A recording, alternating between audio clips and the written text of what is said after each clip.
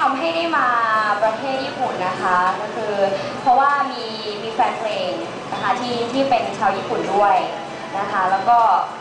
เอ่อที่ที่ประเทศไทยเนี่ยก็มีโอกาสได้เจอเจอกับแฟนเพลงชาวญี่ปุ่นที่ที่อยู่ในไทยด้วยนะคะ ก็เลยทำให้ให้ได้มาวันนี้แล้วก็รวมรวมถึงรางวัลที่ได้ที่ได้รับด้วยใช่ไหมคะจากเว็บไซต์อะไร えー実は彼女はあの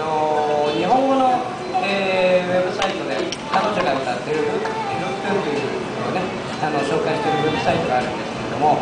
あのーそこで最優秀日本人が選ぶ最優秀ルックという歌手にも選ばれておりましてそのお礼を直接言いたかったそうなんですね ก็เอ่อวันนี้เราก็รู้สึกดีใจมากๆอย่างที่บอกนะคะ แล้วก็อยากจะนำโชว์พิเศษพิเศษนะคะมามอบให้กับแฟนเพลงชาวญี่ปุ่นนะคะแต่ว่าตอนนี้เดี๋ยวพี่สัมภาษณ์ต่อเลยไหมหรือว่า 今日はね、あのー、タイでも、あのー